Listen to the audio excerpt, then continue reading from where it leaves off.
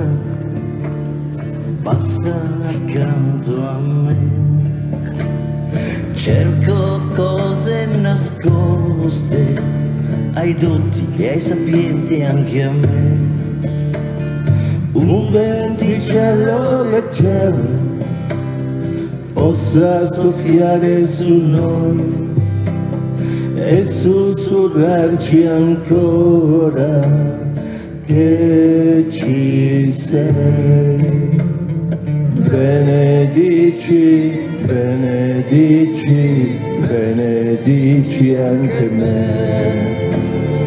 Benedici, benedici, benedici anche me. Benedici la terra, tanto assetata d'amore. Benedici il cielo, tanto affamato di sole. E tutto quello che in mezzo vive assetato di te. Tu che non schiacci il mio grido, benedici anche me. Benedici, benedici, benedici anche me. Benedici, benedici, benedici anche me.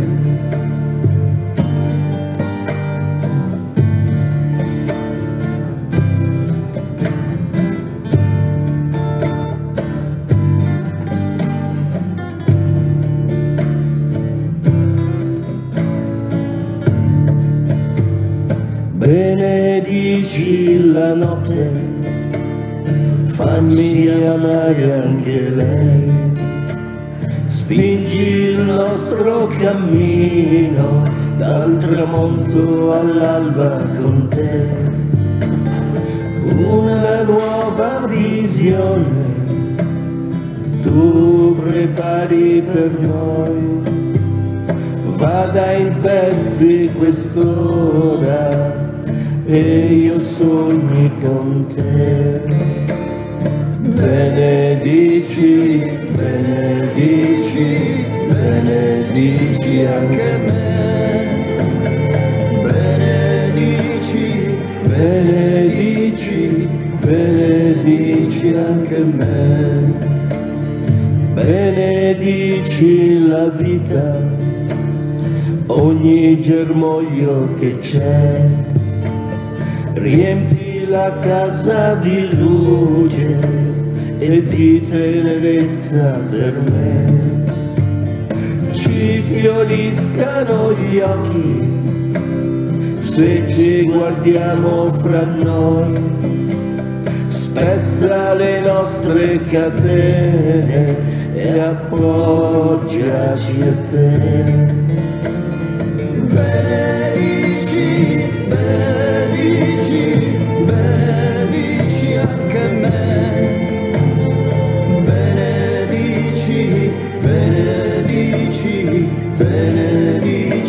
benedici anche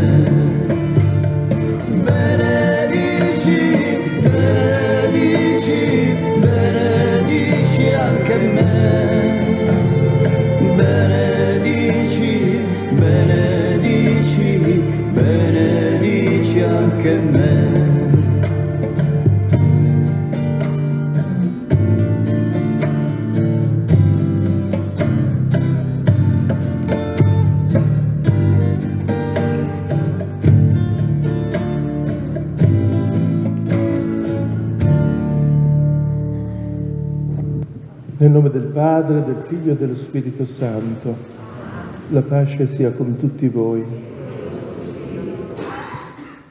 Quello che mi è sempre piaciuto del cristianesimo è che è una delle poche religioni normali, poi magari noi preti, la Chiesa l'ha gonfiata, l'ha gonfiata, l'ha gonfiata, perché aveva paura di questa estrema semplicità di Dio. Ci fa tanto paura la semplicità, quando una cosa è troppo semplice ci sembra che sempre ci sia dietro qualcosa di banale. E allora è straordinario, dopo la notte di Natale, questo Gesù che avviene davvero una cosa meravigliosa, nuova, esplosiva. Poi subito dopo c'è questa assoluta normalità, già dalla grotta, questa assoluta ordinarietà, come avviene oggi in questa famiglia di Nazareth. Sembra che questo Dio abbia voluto abitare in una casa dove come tutte le nostre case è difficile stare, è difficile capirsi. Vi ricordate che Giuseppe non capisce Maria? Ci vorrà un angelo perché lui possa accettare di prendere in sposa Maria. Giuseppe e Maria non capiscono Gesù, ma ci dicono che si può crescere anche in una famiglia difficile. Si può crescere in virtù, in grazia, anche quando è difficile capirci. Nella casa di Dio si parla, si cresce, ci sono dei sentimenti, ci insegna l'arte del vivere, l'arte di dare l'arte di ricevere amore. E allora un po' di silenzio, pensando che questo Dio così straordinario è così normale, è così naturale, è così dentro il nostro cuore inquieto, è così dentro queste nostre case e famiglie a volte divise in cui non ci si capisce.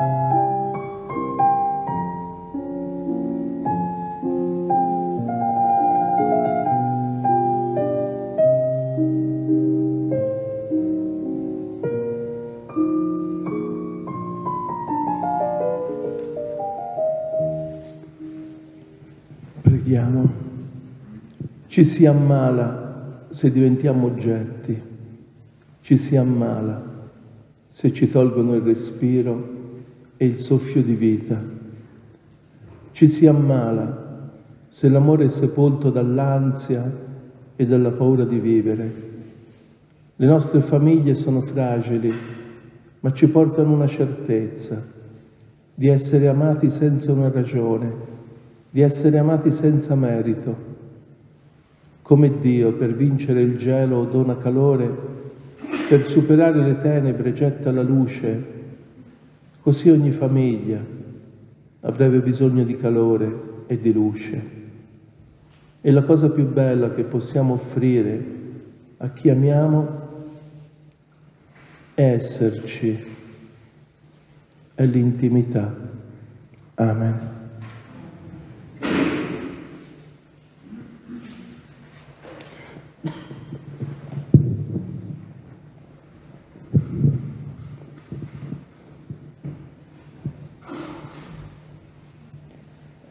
Dal libro di Samuele.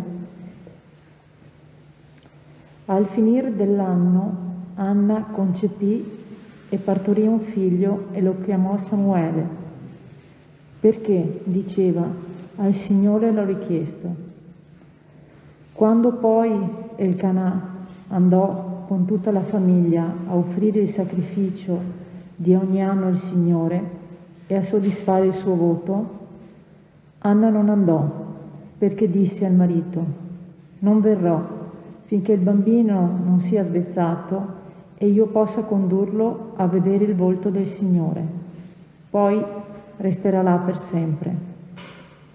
Dopo averlo svezzato, lo portò con sé, con un giovesco di tre anni, un'efa di farina e un otre di vino, e lo introdusse nel tempio del Signore a Silo era ancora un fanciullo. Immacolato il giovesco, presentarono il fanciullo a Eli e lei disse, perdona mio Signore. Per la tua vita, mio Signore, io sono quella donna che era stata qui presso di te a pregare il Signore. Per questo fanciullo ho pregato e il Signore mi ha concesso la grazia che gli ho richiesto. Anch'io lascio che il Signore lo richieda. Per tutti i giorni della sua vita egli è richiesto per il Signore e si prostarono là davanti al Signore. Parola di Dio.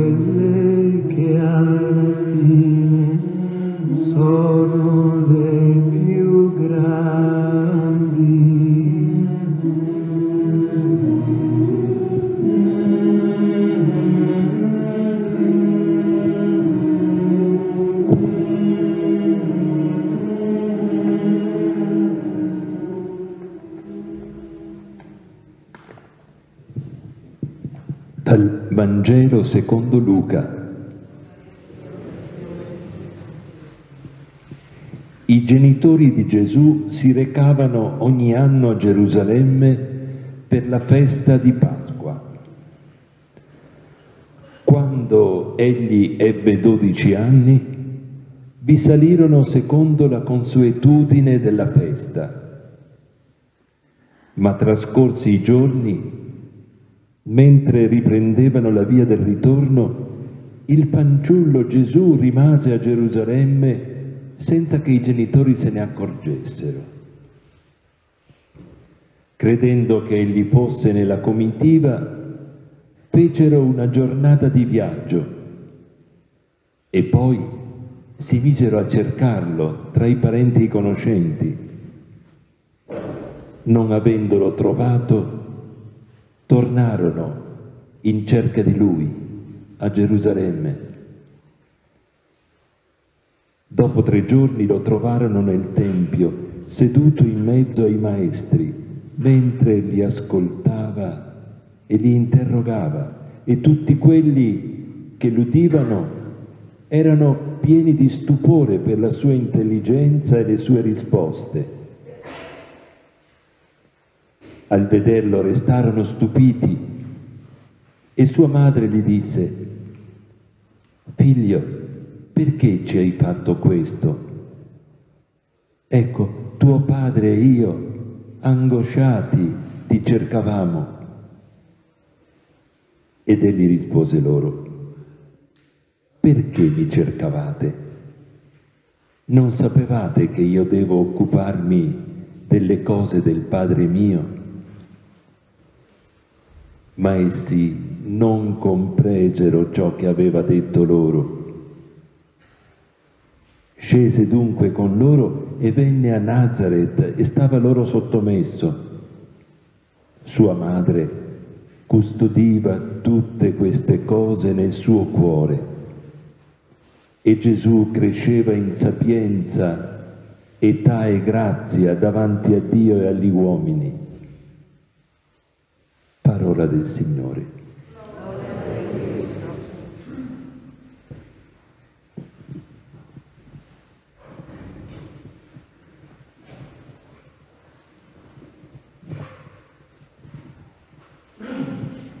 Io credo che la cosa più difficile, più dura dentro una storia d'amore, dentro una famiglia, è accettare la diversità.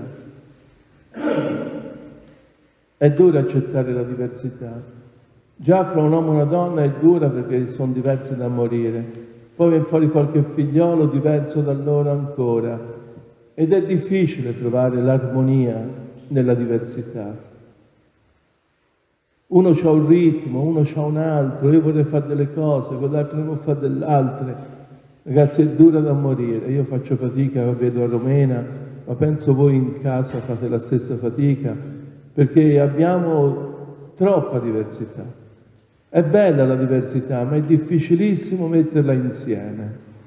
E allora l'unica cosa, soprattutto in quest'anno e mezzo, due di pandemia, abbiamo visto che è venuto fuori un manicomio ancora peggio, perché prima in qualche modo scappavi, fuggivi, avevi altre cose. Ora tutti i conflitti, tutte le lotte, tutte le diversità si amplificavano dentro quella casa. Forse ci ha fatto male, ma forse ci ha fatto anche bene per capire che alla fine il punto più alto è l'armonia. Il problema è l'armonia. Vedete, in questa pieve io non sopporto le chiese moderne perché tutti i santini più buoni l'hanno appiccicata in muro. In questa pieve, nei capitelli, c'è tutta la vita, lo vedete? È rappresentato gli alberi, gli animali, gli uomini, i serafini, gli angeli, il diavolo, l'aquila della morte, l'albero della vita. C'è ogni cosa, c'è una cosa opposta a un'altra. Eppure entri e dici, bello, no? Bello. C'è armonia. E l'armonia è, è vedi una cosa sola. Cose diverse, ma vedi una cosa sola. Anche nelle storie d'amore non c'è una coppia perfetta, c'è una coppia in armonia o non in armonia. Vuol dire un più e un meno che invece di stare a litigare si danza insieme. Ed è quello la fatica e la bellezza dell'amore. Perché vedete, non basta avere una casa, bisogna sentirci a casa, e alla fine perché uno fa una famiglia? Perché cerca un posto per sentirsi a casa, no? Ma sentirmi a casa non vuol dire avere quattro mura e un pezzo di pane, questo ce l'avete tutti. Sentirmi a casa vuol dire un posto dove uno mi guarda e mi guarda davvero, dove uno mi ascolta e mi ascolta davvero. Se sbaglio mi perdona davvero e non mi fa il muso due mesi. Un posto dove posso avere una faccia sola e posso permettermi di dire tutto quello che ho dentro. Ma dove si trova, ragazzi, un posto così? È simbolico fare casa, ma è difficilissimo l'armonia, è difficile spesso sentirci a casa dentro le nostre case e le nostre famiglie sono fragili, però ci portano una certezza che un po' d'amore c'è lì dentro. Vedete, io capisco che Romena è un troiaio, non è un granché, non è niente di chissà che. Io ho sempre pensato Romena non come una cosa perfetta, ma come un laboratorio. Si sperimenta un nuovo modo di fare la messa, di pregare, distanziamo la gente. È imperfetto, ma almeno ci si prova. E io credo che le nostre famiglie sono un laboratorio in cui si prova in qualche modo a cercare di maturare, di crescere, di migliorarci. È difficile vivere insieme, perché tutti abbiamo dei segreti, perché tutti abbiamo delle trame nascoste e non, non, è facile imparare ad ascoltarci, non è facile imparare a capirci e le crisi sono inevitabili. Però vi dicevo che queste incomprensioni alla fine ci servono e ci fanno crescere, ci rendono migliori. Se pensate a tutte le difficoltà della vostra vita, è chiaro che in quel momento le avete maledette tutte, però se le pensi dopo un po' dici, perché no? Ho patito, sofferto, sono passato da quella difficoltà, ma sono diventato una donna, un uomo migliore. E allora ogni famiglia per me è come un fiore e come dicevo prima, ci vuole la luce e ci vuole il calore. Purtroppo ci si mette poca luce, poco calore, ci si mette molta durezza, molta rigidità. Vedete, quando voi date una regola a un figliolo, avete già perso, va bene? È chiaro, va messo le regole perché se no fanno il che gli pare. Però ragazzi, pensateci un attimo, se metti una regola, hai già perso. Perché se ci fosse amore, non c'è bisogno che te non tu faccia il bischero, che tu mi rispetti o che tu mi ascolti, no? Quando c'è amore non ci sarebbe bisogno di troppe regole. Ed è bella la parola amore in ebraico, che è Ahab, che ha dentro due parole, Bet che vuol dire casa, la casa vuol dire la dualità maschile, femminile, figlioli, e c'è una He nel mezzo che vuol dire finestra. Bella questa cosa, come dire che l'amore è dare una casa a chi ami, e dare una finestra aperta a chi ami. Io vi ricordo che l'amore non fa sempre bene. Tutti con questo amore tirato via a bischero. Ragazzi, l'amore fino a un certo punto fa crescere un figliolo, ma se lo ami troppo lo rincoglionisci, gli fai peggio che meglio. E così è il tuo uomo la tua donna, non gli dà troppo amore, perché alla fine si adagia, ti frega, io penso che l'amore non deve servire a coccolarti, a accomodarti, deve servire a farti camminare, a renderti libero, a farti volare. Ma se quell'amore ti toglie l'aria, ti asfissia, fa dei danni terribili. E poi nell'amore credo importante un'altra cosa, che è il distacco. L'essere sempre appiccicati non fa bene. Perché il distacco è importante per due cose. Prima perché mi, mi chiedo, ma chi sono io senza di lei? Chi è lei senza di me?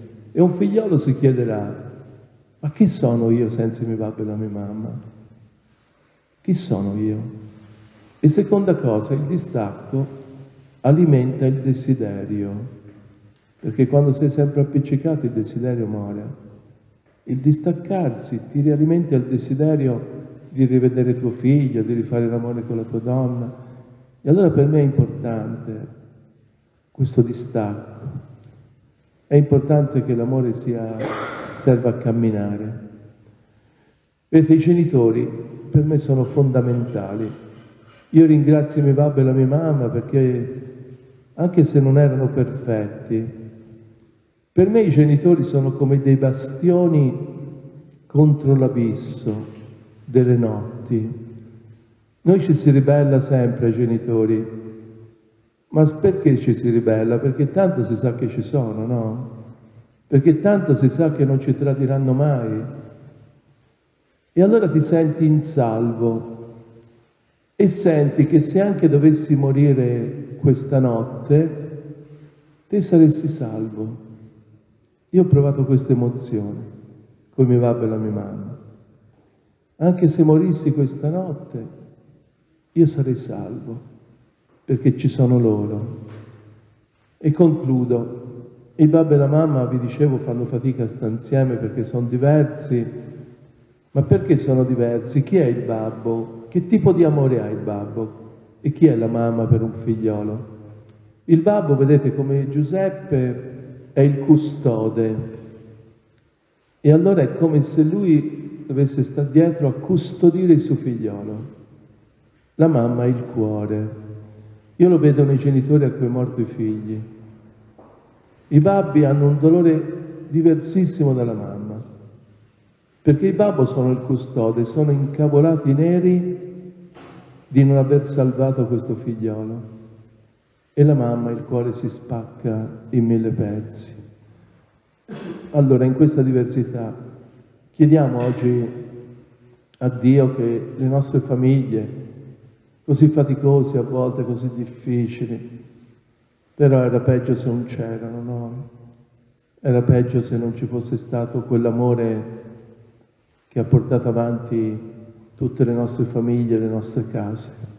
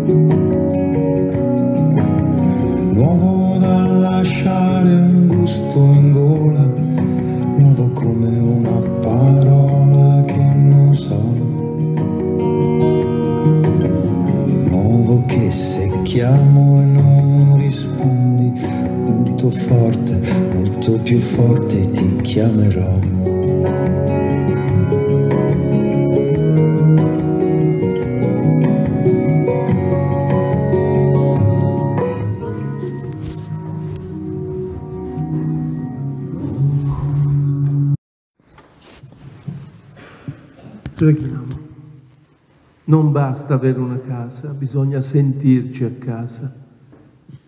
La cura sorge solo quando l'esistenza di qualcuno è importante per noi. Prendersi cura e accogliere e rispettare e dare pace, tranquillità, è un parlarsi cuore a cuore. Ogni famiglia è un vegliare l'uno sull'altro è uno sguardo d'amore sull'altra persona, è un custodire le ferite, i sogni, il respiro. Vorrei che in questi prossimi giorni, proprio partendo da questa famiglia di Nazareth, potessimo custodirci nel cuore queste parole bellissime che Simone Cristicchi ha scritto in Abbi cura di me. Dice il tempo ti cambia fuori, l'amore ti cambia dentro. Mettiti al fianco invece di stare al centro. E io credo che nelle nostre famiglie questo si sente. Il tempo ci cambia fuori, l'amore piano piano ci cambia dentro. E la cosa più saggia dentro ogni famiglia è che ognuno possa mettersi ogni tanto da una parte, invece di stare sempre nel mezzo. Possa la via crescere con voi, il vento essere alle vostre spalle, il sole scaldare il vostro viso e possa Dio tenervi nel palmo della sua mano. Prendetevi tempo per amare, perché questo è il privilegio che Dio vi dà. Prendetevi tempo per essere amabili, perché questo è il cammino della gioia. Prendetevi tempo per ridere, perché il sorriso è la musica dell'anima. Prendetevi tempo per amare la vita, amare Dio e amare tutti coloro che sono dentro la vostra famiglia con molta tenerezza, perché la vita è troppo corta per essere egoisti. Dio ci benedica, Padre, Figlio e Spirito Santo. Andiamo in pace.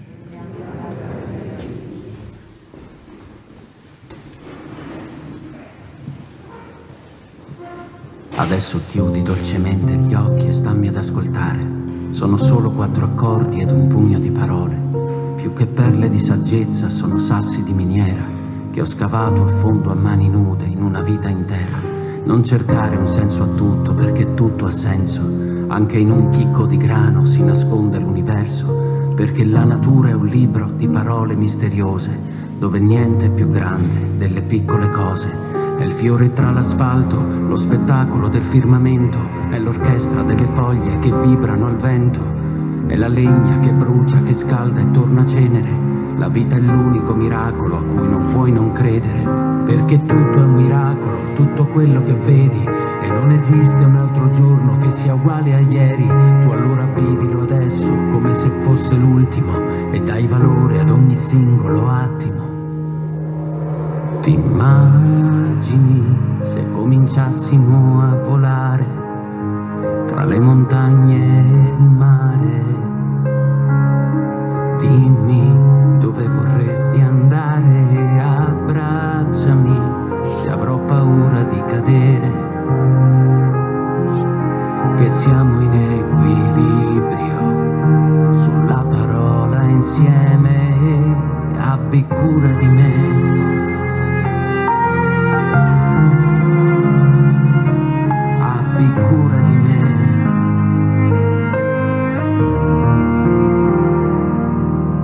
Tempo ti cambia fuori, l'amore ti cambia dentro, basta mettersi al fianco invece di stare al centro, l'amore è l'unica strada, è l'unico motore, la scintilla divina che custodisci nel cuore, tu non cercare la felicità, semmai proteggila, è solo luce che brilla sull'altra faccia di una lacrima, è una manciata di semi che lasci alle spalle, come crisalidi che diventeranno farfalle.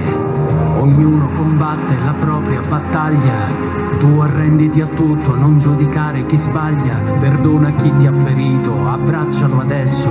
Perché l'impresa più grande è perdonare se stesso. Attraversa il tuo dolore, arrivaci fino in fondo. Anche se sarà pesante come sollevare il mondo. E ti accorgerai che il tunnel è soltanto un ponte. E ti basta solo un passo per andare oltre. Ti immagini se cominciassimo a volare